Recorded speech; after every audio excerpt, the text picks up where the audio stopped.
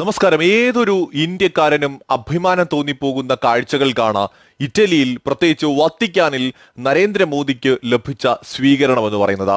മാർപ്പാപ്പയുമായിട്ട് നരേന്ദ്രമോദി ആദ്യ കൂടിക്കാഴ്ച നടത്താൻ എത്തുമ്പോൾ തീർച്ചയായിട്ടും അത്ഭുതപ്പെടുത്തുന്ന ഒരു സ്വീകരണമാണ് അദ്ദേഹത്തിന് ലഭിച്ചിരിക്കുന്നത്. അതിന്റെ ദൃശ്യങ്ങൾ ഇതിനോടകം തന്നെ സോഷ്യൽ മീഡിയയിൽ വൈറലാണ്. നരേന്ദ്രമോദി ഒരു ലോക നേതാവായി ഉയരുന്നു എന്നതിന്റെ കൃത്യമായ തെളിവുകളായി നമുക്കിതിനെ വ്യാഖ്യാനിക്കാൻ സാധിക്കും.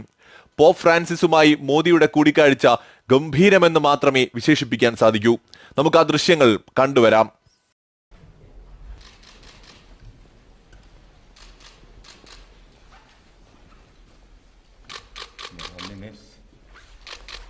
no, for the candle stand.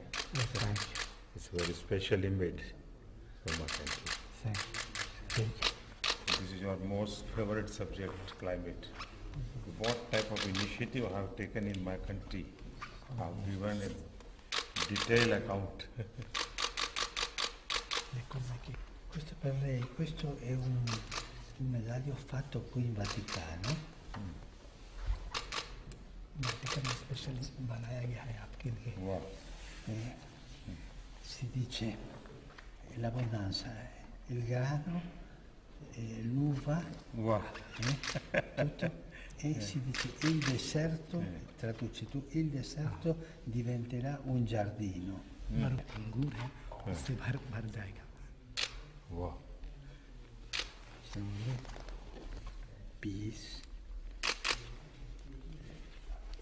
I have seen for you today. Oh.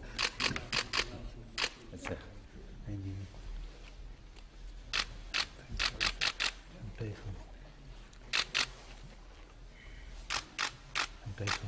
I'll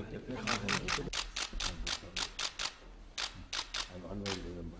I'll be happy to receive you. Yeah. It's a great honor.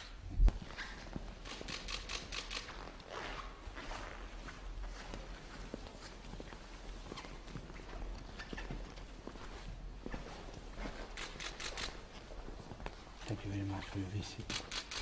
I'm happy, It's an honor very happy. I would like to see you in India. Yes, It is my thought honor to receive you there. yes, thank you very much. Pray for me, don't forget. I talk to you. Your prayers are always giving me strength.